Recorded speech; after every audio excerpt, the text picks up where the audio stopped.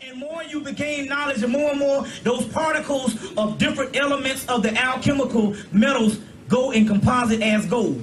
And once that particular gold starts forming in your head, the electromagnetic magnetic force field will not let you obtain thousands and thousands of gold on the outer realm. So the money starts drying up. And it will only give you enough to keep you functioning, but you cannot get wealthy off this bullshit. So now if my, I don't want, now I don't look for one thing in the world. If my rent is paid, the goddamn phone can be cut off, like my phone is cut off. but right now, if my damn light is on and my rent, that's it. I'm through for the fucking month. That's all I worry about. That's it.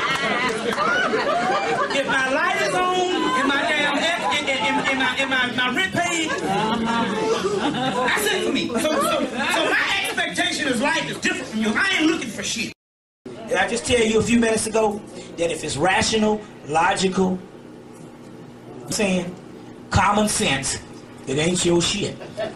Stop thinking like a fucking human. You're not humans. You see what I'm saying? You're advanced, universal, chaos beings is your name. You are above the gods. The gods are your children. We'll get into that in a few minutes. So all can be broken down in scholarship. You see. So it says, in order to get the cosmic awareness, you must block the rationale of the brain. If you try to rationale and all of the logical thinking of everyday life and try to get to the subconscious. That's right. Well, if you are the subconscious and melanin is the subconscious, then what's logical and rational like every other motherfucking white person and Jews and Japanese is doing, that's not your shit because you've gone from that plane. You're trying to get beyond that. You're trying to get to, because it says oneness in cosmic awareness.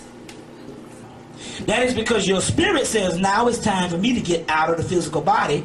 My incubation period on this realm is over. So your spirit doubled back and shut down, and now you out here running like a goddamn your head cut off for the simple doggone fact. You see what I'm saying? Your spirit is not necessarily helping you.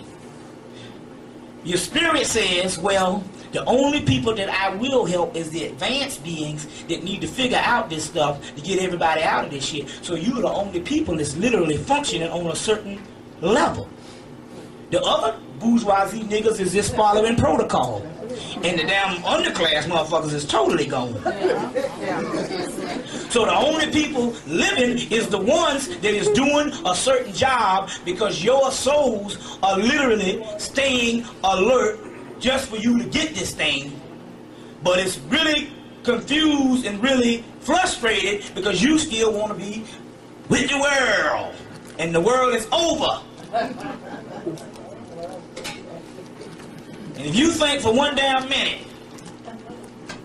that you're going to build any kind of utopian society with black people in America, and God knows not in Africa, or no other place on the planet, you crazy as hell. Ain't no shit I made up. So the only thing all that nigga that ain't gonna fool. I'm telling you, the shit that you feeling and you saying fuck this shit, that's the God in you telling you what time it is.